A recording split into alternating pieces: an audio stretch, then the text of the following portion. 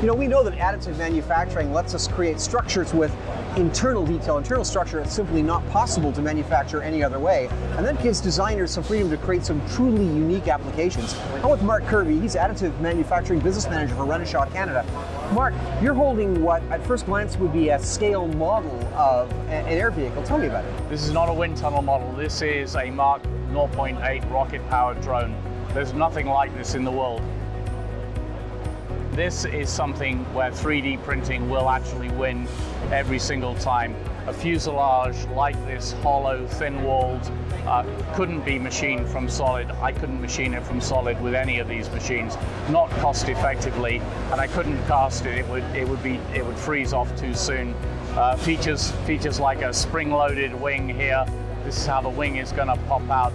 There's a titanium coil spring in here that's been 3D printed as well. Uh, and if I, if I take the, the top off, this, this is just for show, the printed top.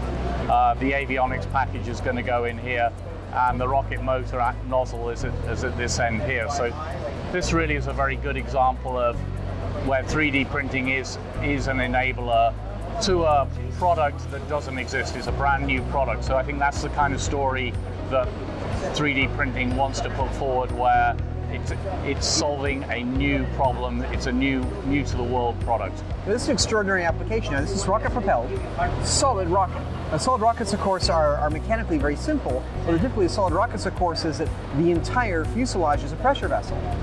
Correct. At the same time. And, and that was one of the challenges. How do we get how do we get the weight out of it so that we make it very thin, but it still has to be a pressure vessel uh, and actually it needs to be made in two halves. These halves actually snap together.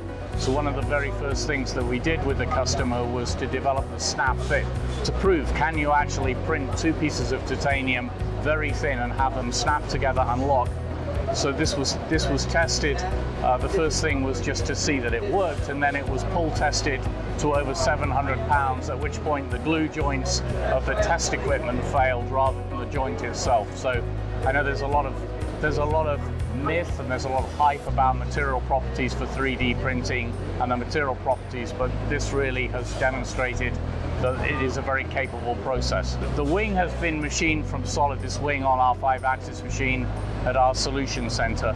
Um, so the wing is a very high accuracy component. Again, this is one of the, the, the myths of metal printing. Metal printing is not going to have the same finish accuracy as CNC machining. So for the wing that has to perform at near supersonic speeds, uh, needs to be very high tolerance. The fuselage has to be strong, a pressure vessel, lightweight, but it has a different set of demands. So again, it's about choosing the appropriate process to be cost effective. What problem, mission-wise, is this solving? Is this a reconnaissance application? Is this potentially military application? This, as I said before, if you if you plot um, air vehicle space as, as, speed versus mass, there's the top left-hand corner, which is lightweight, very high speed. There's nothing in there right now. So one possible application for this could be uh, to be deployed into a severe weather event like a hurricane, the eye of a hurricane. This could be fired into it with a sensor package to collect data. So that would be one possible application for it. With 3D printing technology, is it possible, you imagine, envision a generation of low cost into disposable air vehicles that are, are cost effective enough that you can afford to lob them into the eye of a hurricane and then walk away? Well, obviously, from a business perspective, Jim Renishaw would love that to, to happen, that we need thousands of these.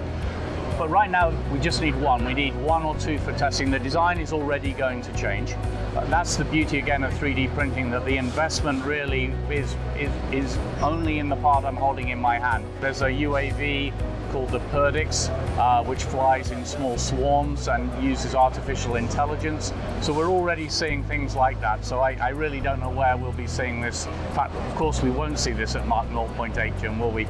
But uh, I think this will be uh, coming coming soon. So it's been very nice to be part of this project.